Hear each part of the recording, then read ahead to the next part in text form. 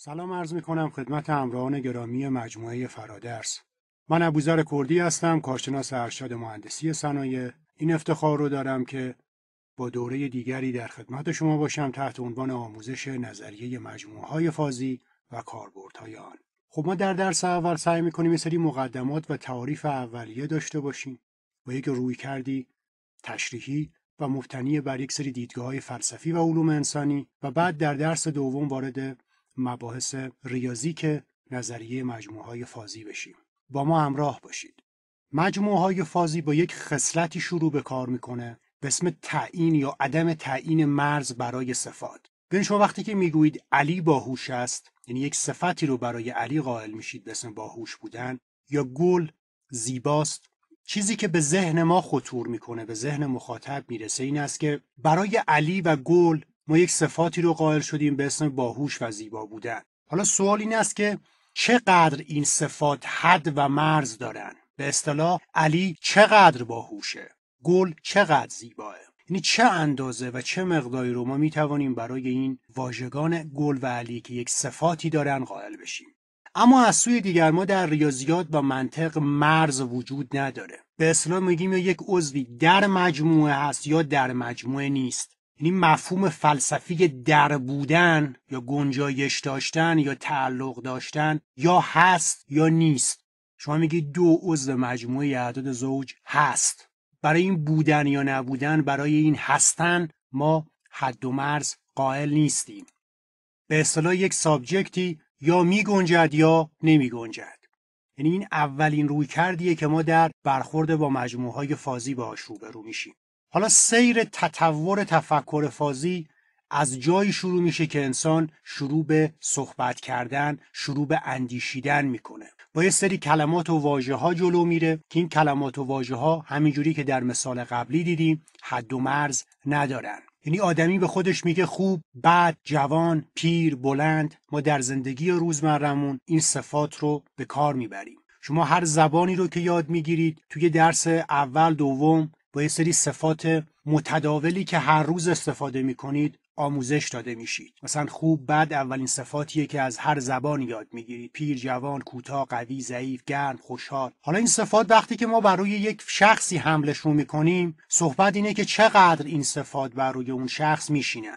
مثلا شما وقتی که می‌گویید فلان پسر یا دختر زیباست این زیبایی خب چه حد و مرزی داره؟ چقدر؟ چه نمره ای می‌تونیم بهش بدیم؟ به اصطلاح تو برخی از گفتگوهای روزمرهمون مثلا ما می‌خوایم یک نفر یا یک چیز یا یک پدیده ای رو بسنجیم میگیم از صفر تا صد چه نمره ای بهش می‌دید در واقع وقتی که ما می‌خوایم بگوییم از صفر تا صد چه نمره ای رو به این پدیده میدیم ما دنبال یک تفکری هستیم که حد و مرز نداره. یک تفکری که قطعی نیست و به نظر ما رو به سمت و سویه فازی میکشونه.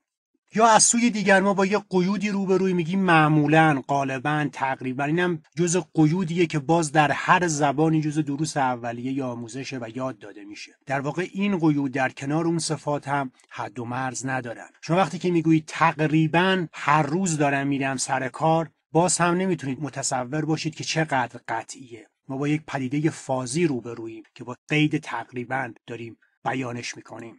حالا ما آنچه که از منظر در واقع فازی داریم نگاه می‌کنیم به قضیه یک سویه تاریخی و یک سویه فلسفی داره. یعنی بعد برگردیم یک نگاهی فلسفی داشته باشیم ببینیم ریشه مجموعه های فازی از کجاست. ببینید شما وقتی که در دستگاه ارسطو میرید یا به رساله متافیزیک ارسطو مراجعه می‌کنید می‌بینید که ارسطو خب از منطق دودویی صحبت می‌کنه. از منطقی که یا صحیحه یعنی گزاره ها یا صحیحن یا غلطن. به اصطلاح یا صفرن یا یکن.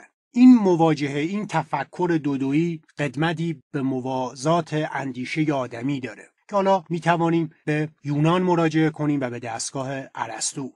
حالا قبل از در واقع نظام ارسطویی ما می‌تونیم یک سری هم به شرق داشته باشیم. بودا مثلا یک کارکتری است که اعتقادی به این نظام دودویی به این منطق صفر و یک نداره.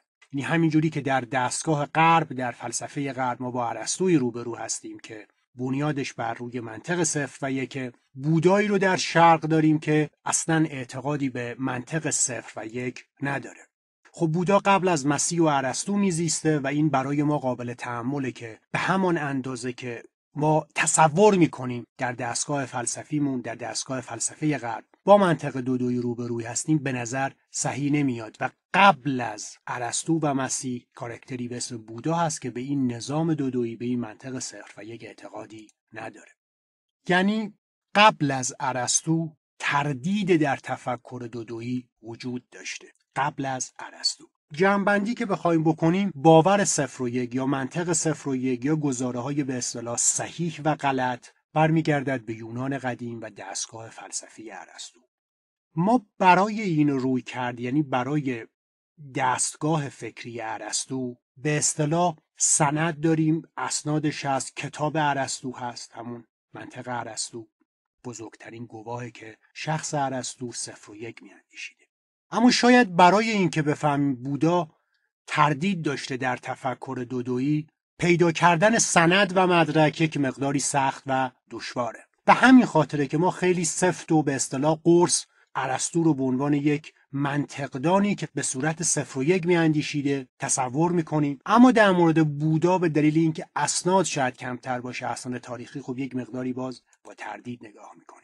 اما ما می‌خوایم بگیم این دستگاه منطقی ارسطویی یه سری اشکالات داشته.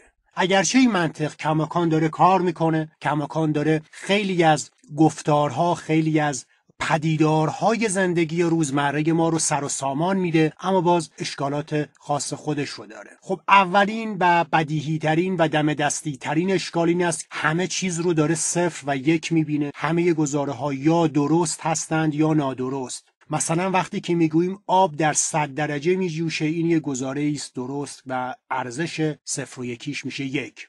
یا مثلا عدد پنج زوجه است یک گزاره است با ارزش منطقی صفر چون پنج زوج نیست. بر روی این دستگاه بینش فلسفی هست. خب ما ارسطو رو علاوه بر آنکه یعنی پیشتر از آنکه به عنوان یک منطقدان بدانیم به عنوان یک فیلسوف می‌شناسیم. پشت این صفر و یک پشت این دستگاه گزاره ها رو یا صحیح یا غلط ببین یک دستگاهی فلسفی و تناورده نهفته است. به ما می‌گوید چه چیز درسته چه چیز نادرسته. یک نگاهی داریم به گزاره ها که این گزاره ها یا درست می‌بینیم یا غلط.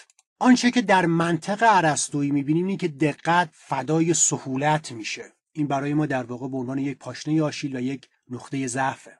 دقت رو نمی‌بینیم در گزاره ها ما می‌خواهیم بدونیم وقتی که می‌گوییم گل زیباست چقدر می‌خواهیم دقیق بشیم در زیبایی اون گل؟ این چنین گزاری رو به ما نمیده. یا مثلا یک فیلسوفی داریم به اسم سورن کرکگارد در یک کتابی داره به اسم یا این یا آن. تو این کتاب به ما میگه که آدمی برده این انتخاب بین صفر و یک و دستگاه فلسفی هم در این یکی دو هزاره گذشته بی تقصیر نبوده و بشر رو به سمت و سوی برده که بگه یا این درسته یا آن. این هم در واقع اون نگاه فلسفی یا اون بینش فلسفی حاکم بر منطق ارسطوییه اما برگردیم ببینیم پدیده های واقعی در برابر پدیده های فازی چیکار می‌کنن. شما در تفکر ارسطویی یا صفر می‌بینید گزاره ها رو یا یک. یعنی یک گزاره یا صفر یا یک. بین این دو رو دیگه نمی‌بینید. بین این دو یعنی من می‌خواهم بدونم یه گل زیباست هشت دهم مثلا ممکنه نمره ای باشه یا ارزشی باشه که برای این گزاره قائل باشه دیگه اینجا دیده نمیشه. یا صفر همه چیز یک. اما در تفکر فازی در تفکر همون بودایی که مد نظر ما هست بین صفر تا یک نیز موضوعیت و مفهومیت داره. یعنی شما می توانی بگویی فلانی بلند قد مثلا با نمره 80 درصد با نمره 8 یک عددی بین صفر و یک. یا فلانی پسر یا دختر کوتاه قده بعد متصور هستیم که خیلی کوتاهه. نمیایم بهش نمره صفر بدیم مثلا نمره یک دهم یا دو دهم میدیم. آنچه که اینجا داریم می‌بینیم بین صفر تا یک محصول دستگاه فازیه. در واقع پدیده های واقعی که ما دنبالشون هستیم صرفا سیاه و سفید صفر و یک نیستند بلکه خاکستری یا در طیف خاکستری نیز قرار می‌گیرند آنچه که ما می‌خواهیم بهش برسیم و منطق فازی رو شکل بده به آقا پدیده های واقعی که در جهان طبیعت ما باشون سر و کله می‌زنیم به نظر می‌رسه همیشه فازی مبهم و غیر دقیق هستند یعنی صرفا نمی‌تونیم بهشون بگیم صفر یا یک. بین این دوتا نیز جریان حاکمه و می بین صفر و یک نیز در مورد پدیده ها و گزاره ها قضاوت بکنیم. مسئله دیگر ماهیت عضویت در مجموعه های فازیه. ببینید ما تو مجموعه های قطعی مثلا مجموعه اعداد زوج رو در نظر بگیرید. مجموعه اعداد زوج با صفر شروع میشه دو چهار تا دو ان آنچه که ما داریم می‌بینیم شما اینجا یک عضوی رو می‌بینید. یا داخلش هست یا داخلش نیست. مثلا 16 داخل مجموعه اعداد زوج هست 23 نیست. حالا تو مجموعه های فازی برعکس اینه. یعنی شما دیگه اینجا بر حسب ممبرشیپ عضو و غیر عضو نمی‌تونید طبقه بندی کنید تقسیم بندی داشته باشید و در مورد ماهیت اعداد صحبت بکنید. چون این چیزی اینجا وجود نداره. بلکه میزان عضویت رو ما به صورت یک تابعی نشون میدیم به صورت یک کمیتی نشون میدیم بین صفر تا یک. یعنی چی؟ یعنی می‌گویی مجموعه ای هست. اگر تصور کنیم مجموعه اعداد زوج فازی دو ممکن است به میزان 80 درصد داخل آن مجموعه باشد. یعنی اینجا ما میایم برای در بودن همون مفهوم فلسفی در بودن که توضیح دادم. برای در بودن برای عضو بودن در آن مجموعه یک نمره قائل بشیم بین صفر تا یک و بر اساس اون قضاوت بکنیم. یعنی بگیم پنج به میزان مثلا 95 درصد عضو اعداد فرده و متقابلش به میزان 5 درصد نیست. اینجاست که در واقع منطق فازی یا منطق جدید در برابر منطق عرستویی میسته و با یک تفاوتهای خودش رو نشون میده. یعنی در واقع شما منطق ریاضیات کلاسیک که همون صفر و یک بود و در مورد گزاره ها تو منطق مثلا با تی و اف نشون می‌دادیم و می‌رفتیم جلو منطق جدیدی خودش رو شکل میده که یک حالت میانه ای داره. استدلالش تقریبیه. شما دیگه قطعا نمیگید. صفر یا یک. بر اساس نمره ای که بین صفر تا یک می‌دید به پدیده ها قضاوت می‌کنید. حالا اگر بخوایم اینو به مقداری توضیح بدیم خب منطق ریاضیات کلاسیک همون منطق ارسطویی بود. گزاره ها رو به صورت درست یا نادرست صفر یا یک نشون می‌داد. حالا حالت میانه ای هست اینجا این وسط که در منطق عرستویی دیده نمیشه و در منطق فازی خودش رو نشون میده. و اینجا هم در واقع همه چیز بر اساس تقریب همینجوری که در زندگی روزمره ما وجود داره. یعنی به نظر می‌رسه منطق فازی بسیار به زندگی روزمره آدمی و پدیده ها و قضاوت هایی که داره نزدیک شده. حالا بخوایم حوادث شکلگیری یا یک چیزهایی که تو چون یک قرن تقریبا بیشتر نیست که این منطق فازی شکل گرفته. خب یه سری پدیده ها بی تأثیر نبودن درش. خود دیدگاه برتراند راسل و همون پارادوکس راسل بود که در واقع انتقاد می‌کرد از منطق سنتی ما که می‌گفت منطق سنتی ما یه سری نمادهایی رو در بر می‌گیره و این نمادها نمی‌تونن زندگی روزمره من رو توجیح بکنن تفسیر بکنن و بیشتر به درد یک زندگی متافیزیکی و ماورای طبیعه می‌خورن. یعنی دوستان آنچه که منطق فازی رو شکل داد یک گونه انتقاد نسبت به منطق سنتی و اینکه چرا این منطق در زندگی روزمره من تأثیری نداره. و حالا در نمونه بارز این حالا در زبان ریاضیات و منطق بود در فیزیک هم اصل عدم قطعیت هایزنبرگ رو داشتیم که در فیزیک کوانتوم خواستگاه داره. این دوتا به حالا خب پدیده های خیلی زیاد دیگه ای هم بودن تو زندگی انسان یک قرن گذشته که تونستن منطق فازی رو شکل بدن. ولی به عنوان دو تا پارامتر مهم مخصوصا انتقاد راسل نسبت به منطق سنتی می‌تونست پایه‌گذار منطق فازی باشه. آنچه که ما اینجا داریم این است که اگه بخوایم به صورت نمودار نشون بدیم در مورد پدیده هایی که ما باشون روبرو هستیم در زندگی روزمرهمون و می‌خواهیم اینو در پوشش منطق فازی تفسیر کنیم به این پدیده ها نمره صفر تا یک میدیم. یعنی دیگه دستگاه صفر و یک کنار میره و بین صفر تا یک توی بازی میاد. یک قطعا رخ میده. حالا بین اینا دیگه نمراتی است که ما میدیم. 8 دهم 7 دهم 6 دهم نسبت به ارزش گزاره ها شما دیگه میگید آب در 100 درجه میجوشد دیگه نمرش یک نیست. ممکنه مثلا 8 دهم باشه. در فلان ارتفاع در کوه هیمالیا در فلان درجه بجوشه. در کف دریاها فلان درجه در کف ساحل رودخانه ها فلان درجه. یعنی اینجاست که شما با یک نمره روبرو هستید بین صفر تا یک. این به نظر میاد خیلی می‌تونه تو زندگی روزمره ما کاربست داشته باشه. منطق فازی منطقیه که توسط یک فیلسوف آمریکایی به اسم مکس بلک و در واقع لطفی زاده یک شخصی که در ایران متولد شده و حالا تحصیلاتش رو در باکو و در آمریکا در واقع به سر برده. ما به کمک این دو نفر مخصوصا لطفی زاده پشت جلو دیدگاه فلسفیش رو مکس بلک و دیدگاه ریاضیک و تحلیلیش رو لطفی زاده ارائه کردن. خب ما در درس های بعد به زبان ریاضی میاییم مفاهیم مربوط به منطق فازی رو توضیح میدیم. دوستان با مجموعه های فازی و عملیات های فازی در خدمت شما هستم. با ما همراه باشید. ببینید ما ابتدای ورود به مجموعه های فازی با مجموعه روبرو هستیم. یعنی همون سه تئوری نظریه مجموعه ها که بخشهایش رو در دبیرستان داشتیم و در دانشگاه هم تو خیلی از مباحث به ما مجموعه ها رو آموزش دادن. ما هم بعد نیست یک نگاهی داشته باشیم چون مجموعه های فازی خب بر روی مفهوم مجموعه استواره. به شما وقتی که میگید مجموعه میگید گردایی از اشیا جمعی از اشیا که دارای یک ویژگی جمعی مشخصه هستند. یعنی اگر من فرض می‌کنم مجموعه آ رو دارم که عبارتند از مجموعه اعداد زوج میگم دو انها که این دو انها برای من اعداد زوج رو تولید می‌کنن. حالا ان مثلا متعلق است به مجموعه اعداد مثبت ضد مثبت. یا مثلا می‌گویم مجموعه اعداد فرد یا مثلا مجموعه ای از همه کلان شهرهای ایران. حالا من یک مثال در واقع کیفی می‌زنم. کلان شهرهای ایران برای من تدایی کننده یک مجموعه است. حالا بین دوتا آکولات قرار می‌گیره. ما می توانیم یعنی مجموعه های خیلی زیادی رو تعریف کنیم. برای ورود به مجموعه های فازی یک تابعه مشخصه میگن یک تابع مشخصه. تابع مشخصه میگه شما یک مجموعه مثل آ رو در نظر بگیرید. این مجموعه آ دارای یک اعضاییه. اگر فرض کنم یعنی دو تا حالت در نظر می‌گیرم. یک عضوی در اون مجموعه یعنی مجموعه آ هست یا نیست.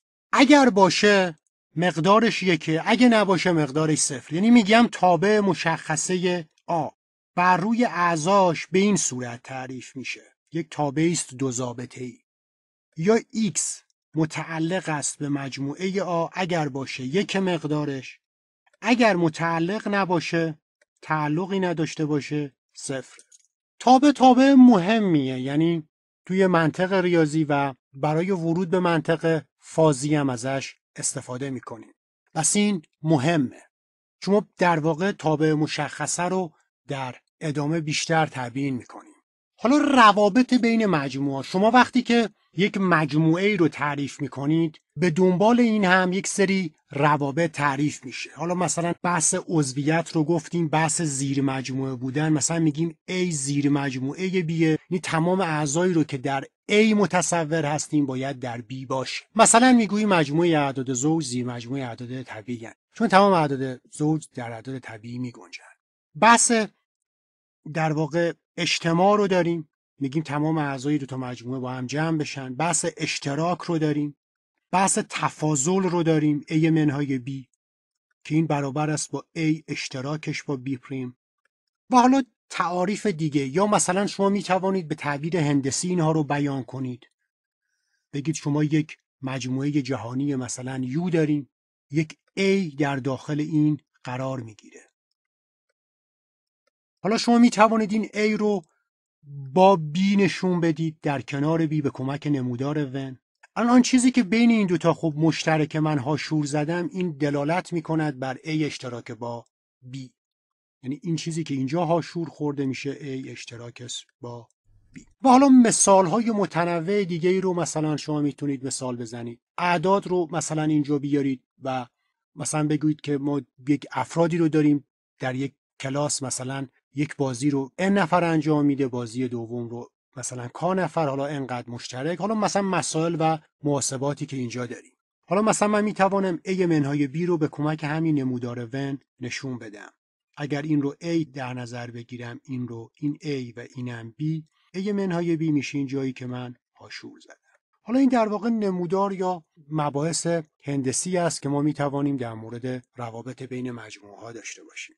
حالا مثال های بیشتر رو خود شما هم می توانید در ذهنتون داشته باشید و به فراخور به کتاب های دیگه ای مراجعه بکنید. حالا عرض کردم زمینش در دبیرستان هست و مسائلی که توی دانشگاه ما مثلا یک درسی داریم به اسم سه تئوری که پیش نیاز در واقع منطق ریاضی هست. از اونجا هم کمک بگیریم و استفاده بکنیم برای حل مسائلمون. مثلا می‌تونیم سه تا نمودار رو در نظر بگیریم.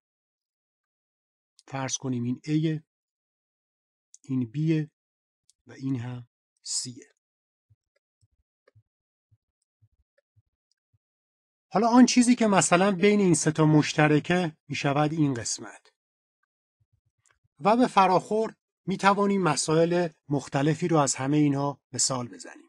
اما ما سعی می کنیم عبور بکنیم از همه اینها. شما فقط دقت کنید هر آن چیزی که توی نظریه مجموعه ها داشتیم رو می توانیم تعمین بدیم و وارد نظریه مجموعه های فازی هم بکنیم. این رو شما در واقع از اجتماع اشتراک گرفته متمم گرفته. قوانینی که هست مثلا شما اینجا ما قوانین دمورگان رو داریم. مثلا میگیم A اجتماعش با B و نقیزش می‌شود A نقیز یا A متمم و B.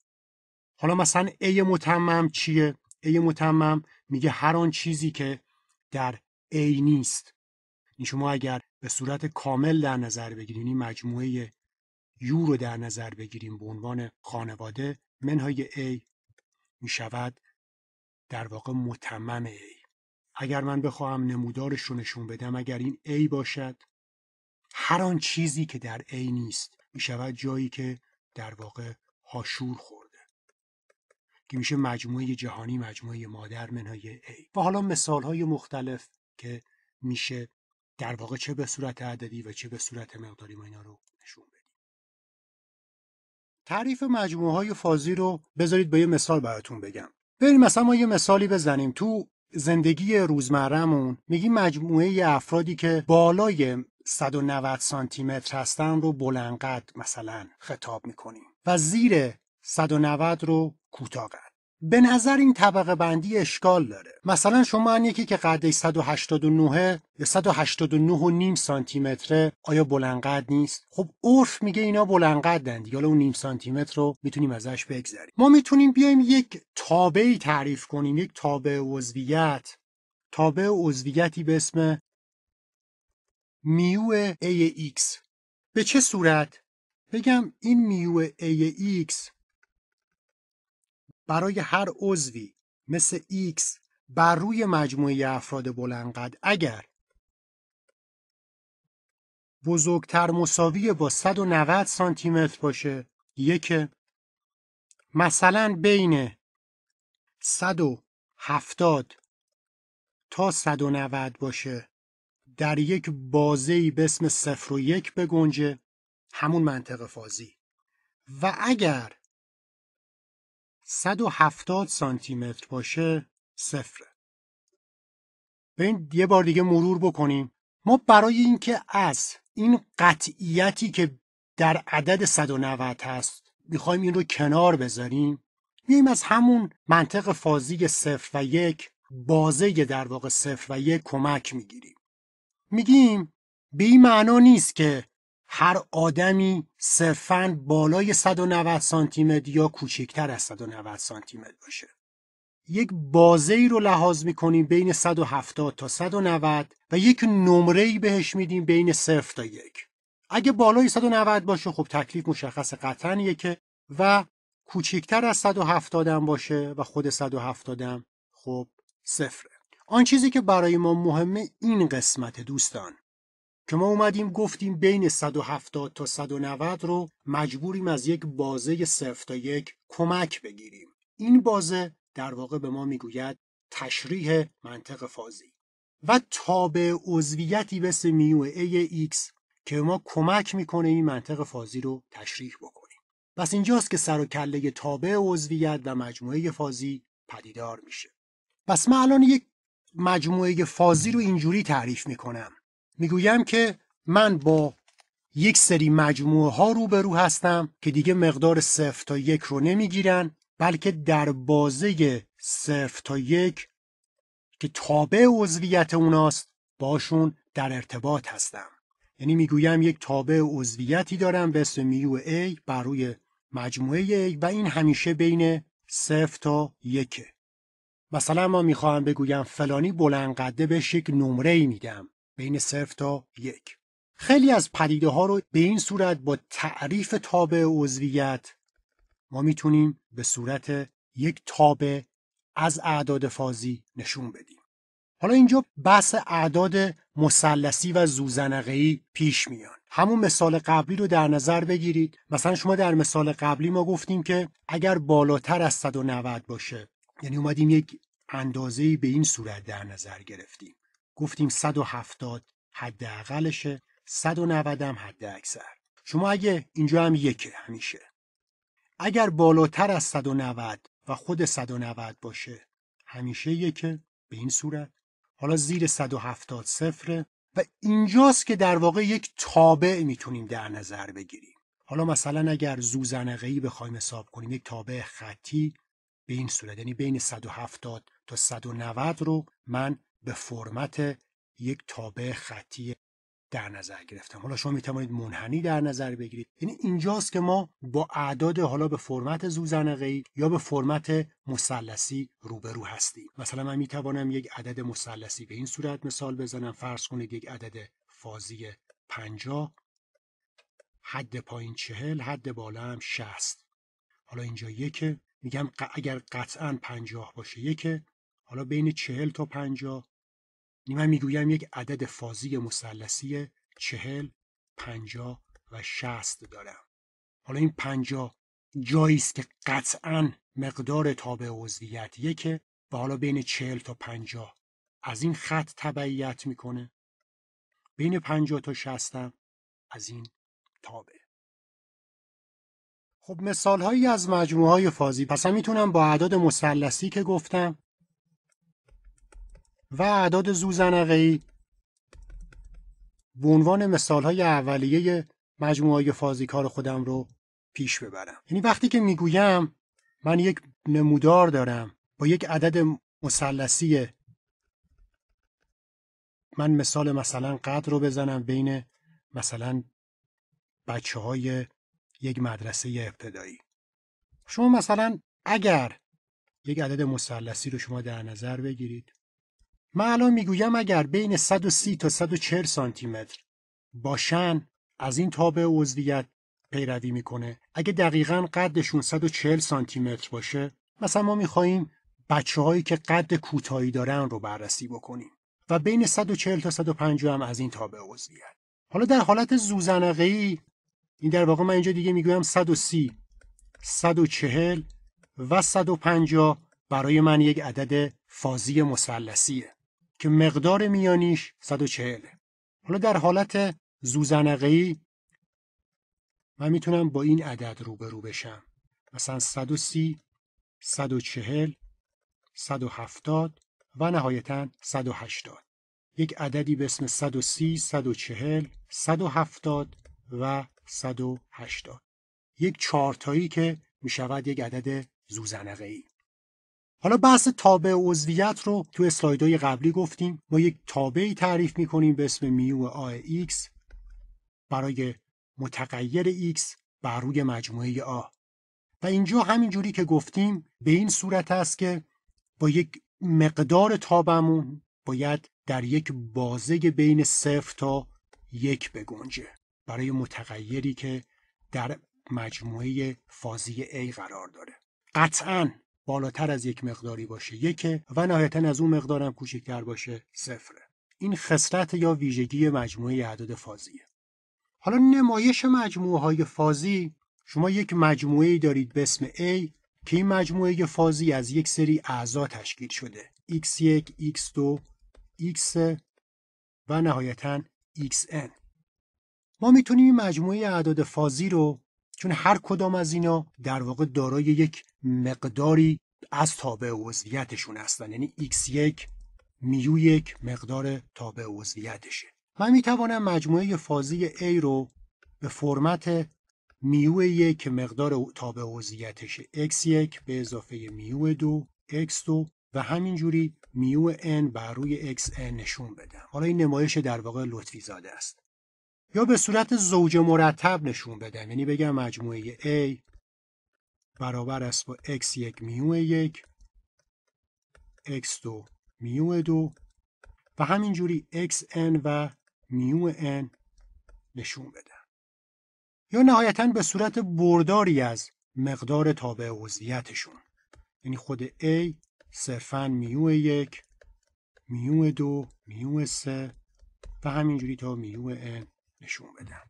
اینا در واقع فرمت هایی که برای نمایش اعداد فازی وجود داره.